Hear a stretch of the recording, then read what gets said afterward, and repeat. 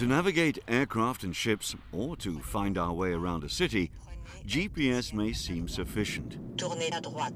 But in fact, neither its accuracy nor its reliability are good enough. Therefore, for critical operations, one needs a more refined system with a guaranteed level of service. Such systems are commonly called overlay systems. Since March 2011, EGNOS, the European Geostationary Navigation Overlay System, has been given the go-ahead for guiding aircraft at European airports that do not have precision approach. Apart from increased safety and security, EGNOS is expected to bring financial returns over 20 years. And the benefits don't stop here.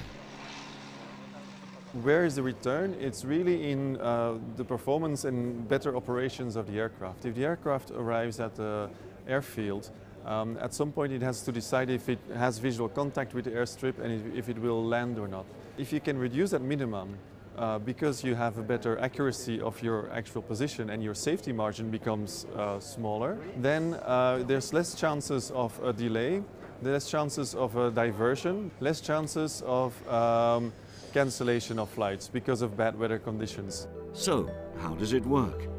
By using three satellites and a 40-strong network of ground stations, EGNOS improves the GPS signal to an accuracy down to one meter and with quality signal available 99% of the time.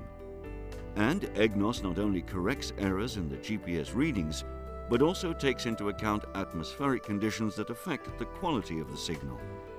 Over the past years, EGNOS has been tested and used in non-critical applications such as agriculture and mapping. It's also been tested to help the visually impaired find their way around. Hello, how can I help you? I'd like to go to the nearest bakery, but I didn't record the route. The control center, which uses the satellite signal to track the user's position, can then send her the new directions and obstacles along the way in real time. EGNOS is about improving the American GPS. But Europe has decided also to have its own system, which is called Galileo. So with Galileo, we're going to have a worldwide satellite navigation system that will fulfill the objectives of Europe, but also will serve citizens worldwide. At the end of 2011, the first two Galileo satellites will be sent into orbit on board a Soyuz launcher from Europe's spaceport in French Guiana. After that, two more satellites will be launched to allow a true validation in orbit of the basic elements of Galileo. And Further launches will continue to be scheduled until a constellation of 30 satellites is deployed in medium Earth orbit. But to test the performance of the future European navigation system, we don't need to wait until all 30 satellites are up in space. Here in the Bavarian Alps, this valley surrounded by peaks rising up to more than 2,000 meters makes a perfect test bed for Galileo, the so-called GATE project we are transmitting the real Galileo signals by using eight of these transmitting stations. And we are transmitting the signals into the valley to test Galileo equipment and receivers. The gate stations play the role of virtual satellites, encompassing an area of about 65 square kilometers. It's in this beautiful location that scientific preparations for future navigation are being made.